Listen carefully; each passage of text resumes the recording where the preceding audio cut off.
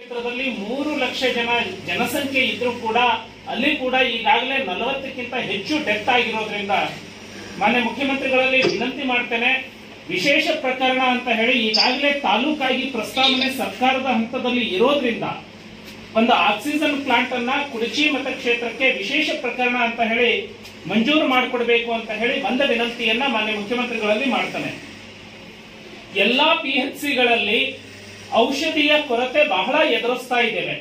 Paracetamol ಇರಬಹುದು antibiotic ಇರಬಹುದು zinc ಮತ್ತೆ ವಿಟಮಿನ್ ಸಿ ಟ್ಯಾಬ್ಲೆಟ್ಗಳು ಕೂಡ ಕೊರತೆಯನ್ನ ನಾವು ಅನುಭವಿಸ್ತಾ ಇದ್ದೇವೆ. ಹಾಗಾಗಿ ಜಿಲ್ಲಾಡಳಿತದ ಮೂಲಕ ಸರಿಯಾಗಿ ಎಲ್ಲಾ P H C C H ಸಿಗಳಿಗೆ tablet ಸಿಗುವಂತಹ ವ್ಯವಸ್ಥೆ ಮಾಡಬೇಕು ಅಂತ ಹೇಳಿ ವಿನಂತಿಯನ್ನ ಮಾಡಿಕೊಳ್ತಾನೆ.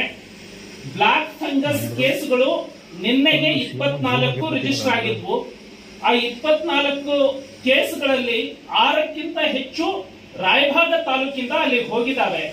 ಹಾಗಾಗಿ ನಿನ್ನೆ ಏನೋ ಮೆಡಿಸಿನ್ ಬಂದಿದೆ ಅಂತ ಹೇಳಿ ಡಿಎಚ್ಒ ಮಾಹಿತಿಯನ್ನ ಕೊಟ್ಟಿದ್ದಾರೆ.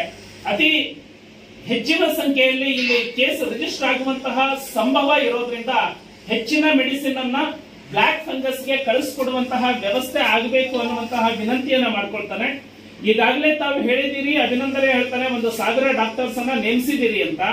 ಮಾನ್ಯ ಉಸ್ತುವಾರಿ ಸಚಿವರು ಅಲ್ಲೇ ಇರೋದ್ರಿಂದ ಈಗ ತುರ್ತಾಗಿ ಬಿಮ್ಸ್ನಿಂದ ನಮಗೆ ನಮ್ಮ ತಾಲೂಕಿಗೆ ಒಬ್ಬ ಫಿಸಿಷಿಯನ್ ಮತ್ತೆ ಮಕ್ಕಳಿಗೆ ಜಾಸ್ತಿ ಕೇಸ್ಗಳು ಈಗ ಡಿಟೆಕ್ಟ್ ಆಗ್ತಾ ಇರೋದ್ರಿಂದ ಒಬ್ಬ ಪೇಡಿಯಾಟ್ರಿಷಿಯನ್ ಅನ್ನ ತುರ್ತಾಗಿ ಇಲ್ಲಿಗೆ ನೇಮಕ ಮಾಡೋದಕ್ಕೆ ಕ್ರಮ ವಹಿಸ್ಕೊಳ್ಬೇಕು ಅನ್ನುವಂತಹ ವಿನಂತಿಯನ್ನ ಮಾಡಿಕೊಂಡು ನಮ್ಮಲ್ಲಿ R T P C R test ಕನಿಷ್ಠ ಮೂರು ದಿನದಿಂದ ಐದು ದಿನಕ್ಕೆ ರಿಸಲ್ಟ್ ಬರ್ತಾ ಇದೆ ಸರ್ ಹಾಗಾಗಿ ಚಿಕ್ಕೋಡಿಯಲ್ಲಿ ಒಂದು, ಮತ್ತೆ ಗೋಕಾಕ್ನಲ್ಲಿ ಒಂದು R T P C R test centre ಗಳನ್ನ ಓಪನ್ ಮಾಡಿದ್ರೆ ಈ ಭಾಗದ ಸಾವನ್ನ ಕಡಿಮೆ ಮಾಡಬೇಕು, ಮಾಡಲಿಕ್ಕೆ ಸಾಧ್ಯ ಇದೆ ಅಂತ ಮಾನ್ಯ ಮುಖ್ಯಮಂತ್ರಿಗಳಿಗೆ ಮತ್ತೆ ಸರ್ಕಾರಕ್ಕೆ ವಿನಂತಿಯನ್ನ ಮಾಡ್ಕೊಳ್ತಾನೆ.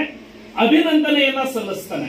ಇಂತಹ ಒತ್ತಡದ ಮಧ್ಯದಲ್ಲೂ ಕೂಡ ಬಹಳ ಯಶಸ್ವಿಯಾಗಿ ಸರ್ಕಾರ ಎಲ್ಲ ರಾಜ್ಯದ ಜಿಲ್ಲಾಡಳಿತ, ಆರೋಗ್ಯ ಇಲಾಖೆ ಮತ್ತೆ ಕಂದಾಯ ಇಲಾಖೆ ಬಹಳ ಒಳ್ಳೆ ಕೆಲಸ ಮಾಡಿದೆ. ಪೊಲೀಸ್ ಇಲಾಖೆ ಕೆಲಸ ಮಾಡಿದೆ. ಅಭಿನಂದನೆ ಸಲ್ಲಿಸ್ತಾರೆ. ಧನ್ಯವಾದ. ಸರ್, ನಮಸ್ಕಾರ ಸರ್. ನಮಸ್ಕಾರ ಸರ್. ಈಗಾಗಲೇ ನಮ್ಮ ಸಹೋದರ ಪಿ ರಾಜು ಅವರು ಸವಿಸ್ತಾರ ಹೇಳಿದಾರ ಸರ್. ನಾ ಏನ್ ಹೆಚ್ಚಿಗೆ ತಗೊಳ್ಳೋದಿಲ್ಲ ನಮ್ಮಲ್ಲಿ ವೆಂಟಿಲೇಟರ್ ಆರ್ ಇದ್ರೂ ಕೂಡ ವೆಂಟಿಲೇಟರ್ ನಡೆಸಾಕ ಡಾಕ್ಟರ್ಸ್ ಇಲ್ಲ ಸರ್.